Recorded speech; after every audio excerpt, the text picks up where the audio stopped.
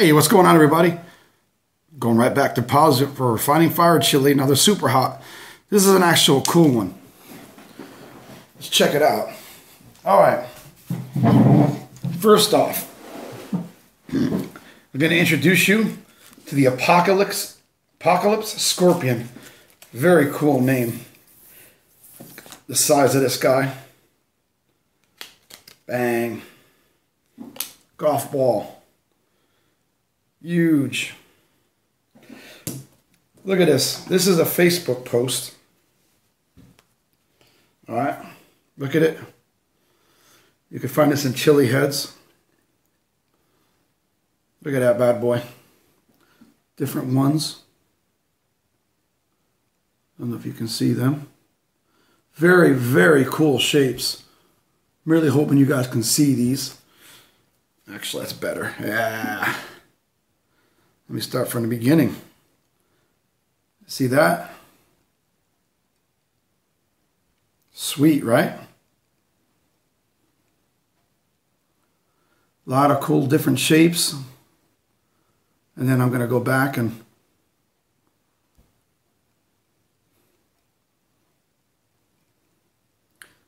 And there's a bunch of them together. Bang. All right. Now, you can see a whole bunch of people writing stuff. Very a lot of interest in this pepper. Let me read what he's writing, what he wrote in this. This is a apocalypse is coming. Are you ready? Be prepared. So far, a few have seen have said more burn than the reaper, but a nice sweet flavor. Sending out a bunch to get more opinions. Seeds coming soon. About 30 to 40% of the peppers have this look, which is like all wicked and cool looking. And uh, typical of scorpions, you get some variation, which is which is, you get a whole bunch of different kind of cool things like you see here. A Apocalypse Scorpion created by, created Apocalypse Scorpion created Scorpion Cross about five years ago by expert Italian pepper breeders at AIASP. Are you ready? Well, let's see if I'm ready. AISP, I'm not really sure what it, what it what it means. I forgot, but Jim Duffy was talking about that to me the other day when I was talking to him on the phone. It is a Italian organization. Now, there's some secrets about this guy here. How it was made. You want to know them? Sorry, I don't either. There is no there is not it's not out. They do not talk about this thing. This, look at it. It's just very very cool looking pod. And you can see from the picture there's different ones there. I think I actually might even see the one I have. I don't know. Who knows? But anyway, very cool. Look at how it has like a cap around that side there. And then it just comes around and very bumpy, bumpy. And anyway, let's cut it open. Let's start munching. Kind of soft walled. Um,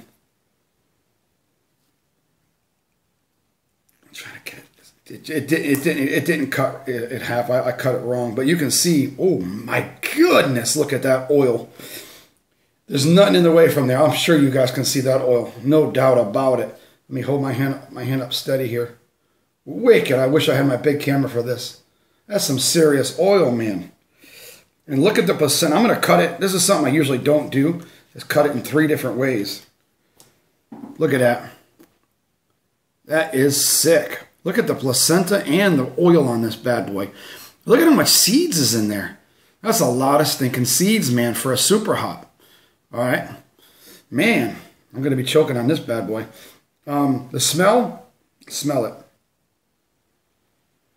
I get a little bit of a, I get the scorpion smell. I also get like a nice sweet smell, and it's like a pushing fruity smell. Very interested. Let's get ready.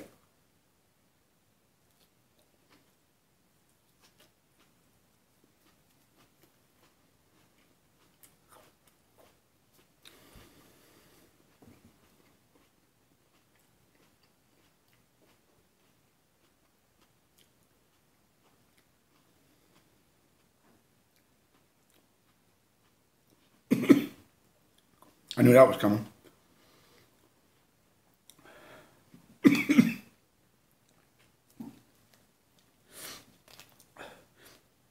There's actually seeds on here, nobody gets them. Crunch them up. Ooh, more, more.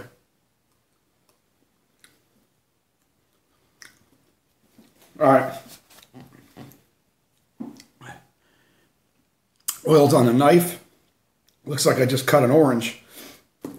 All right, this thing, describe it firsthand, very, very smooth. I can honestly see how it could be compared to the Reaper, where when you eat the Reaper, you taste like a nice sweetness and a smooth taste.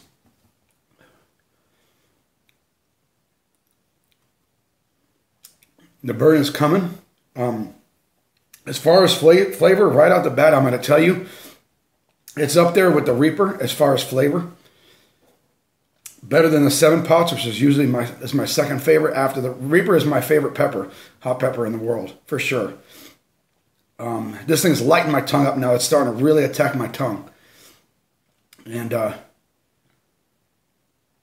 but it's interesting the story behind it that Jim Duffy was telling me was an, an Italian organization. They get together and they, they grow chilies and they grow them and grow them. And uh, from what I understand, Christopher Phillips is kind of has something to do with this organization. And uh, he doesn't even know what's going on with this pepper or won't, won't, won't say anything. But either way, it's very silent, which I think is kind of cool. It's a mystery pepper. Apocalypse. Cool name. Okay. Even the aftertaste is kind of nice and smooth.